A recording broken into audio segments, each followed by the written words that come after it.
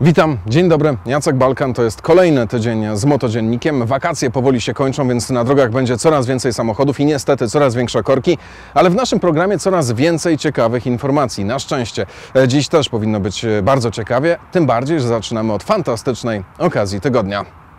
Mazda to dla wielu w dalszym ciągu symbol japońskiej bezawaryjnej motoryzacji. Z tą opinią można się oczywiście nie zgadzać, ale podczas testów długodystansowych minivanowata piątka wypadła naprawdę nieźle, nie wykazując po przejechaniu 100 tysięcy kilometrów prawie żadnych oznak zużycia. Poza tym piątka to bardzo obszerne wnętrze, w wersji pięcioosobowej ogromny bagażnik i przesuwne drzwi, które zwłaszcza rodzicom z dziećmi bardzo wiele czynności ułatwiają.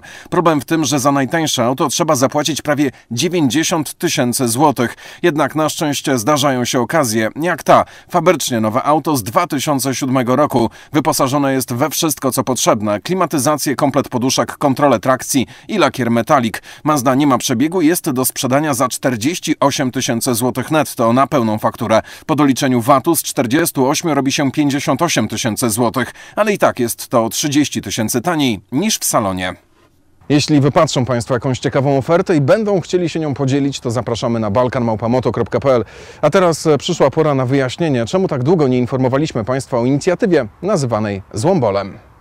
Wystarczy samochód wyprodukowany do 1989 roku w dowolnym z krajów bloku wschodniego. 500 zł zebrane od sponsorów i oczywiście zgłoszenie naszej ekipy organizatorom i można jechać. Pieniądze trafiają do domów dziecka, uczestnicy wycieczki docierają po wielu przygodach w egzotyczne miejsce, tym razem do Istambułu. Piękne? Chyba nie do końca. Chęć udziału i wszelkiej pomocy zgłosiliśmy organizatorom kilka miesięcy temu. Chcieliśmy przygotować wspólnie z Państwem, czy może na Waszych oczach samochód, a następnie dosyłać relacje z podróży jak normalny uczestnik, tyle że z kamerą i z mikrofonem. Naszą wyprawą zainteresowaliśmy wstępnie kilka zaprzyjaźnionych firm, instytucji, a nawet sporej wielkości miasto. Wszyscy zadeklarowali wykupienie na naszych autach reklam, co wiązało się z przekazaniem na domy dziecka wstępnie około 100 tysięcy złotych.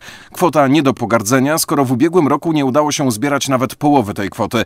Jednak z jakichś nieznanych nam powodów ta oferta organizatorów nie zainteresowała. Ostatnie spotkanie w Katowicach przebiegło w delikatnie mówiąc wrogiej, zaskakującej zaskakująco wrogiej atmosferze, a trudności piętrzyły się jedna za drugą. Był problem z finansowaniem remontu auta na wyjazd. Okazało się, że żadna, nawet nasza producencka firma nie może nam w tym pomóc, a firma oponiarska nie może przekazać nawet jednej opony. I to mimo, że samochód miał później trafić na dobroczynną aukcję. Kolejna sprawa to regulamin, w którym uczestnicy mają swoją drogą bezprawny zakaz rozmawiania z dziennikarzami. Zresztą w naszej ocenie zarówno jedni, jak i drudzy są przez organizatorów traktowani jak potencjalni złodzieje, krętacze i idioci. I tak naprawdę w tym wszystkim przeszkadzają. A skoro tak, Szczerze mówiąc, to nie wiem, co o tym wszystkim myśleć i jak to wszystko interpretować, ale mam nadzieję, że zrozumieją Państwo, że innej decyzji podjąć nie mogliśmy. A teraz przechodzimy do najciekawszych motoryzacyjnych informacji. Zaczynamy od samochodu bardzo twardego, produkowanego już od wielu lat. Samochodu, który w końcu doczekał się ładnego wnętrza.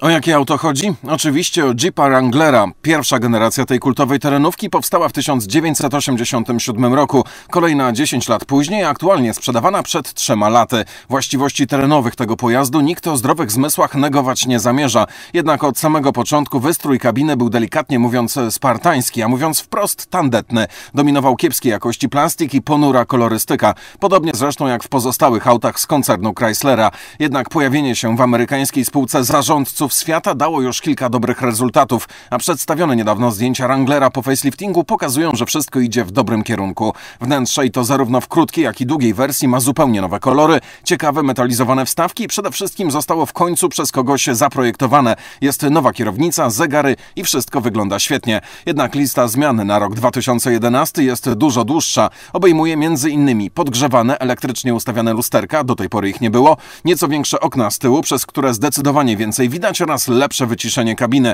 oraz nową paletę kolorów. Czy te auta trafią do sprzedaży w Polsce? Prawdopodobnie tak, choć chętnych, jak i do tej pory raczej nie będzie zbyt wielu. Auto kosztuje w Polsce przynajmniej 120 tysięcy złotych, w Stanach połowę.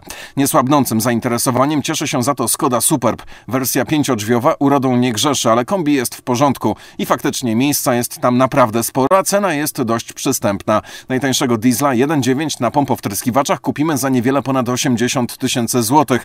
Jednak z zakupem właśnie tej wersji warto jeszcze chwilę się wstrzymać. W niektórych europejskich krajach już, a w niektórych w najbliższym czasie będzie można zamówić auto pewnie w identycznej cenie, ale z dużo nowszym, wysokoprężnym silnikiem Volkswagena o pojemności 1,6 litra. Moc i moment obrotowy pozostał bez zmian. Podobnie osiągi, ale spadło zużycie paliwa i przede wszystkim w kabinie jest dużo ciszej.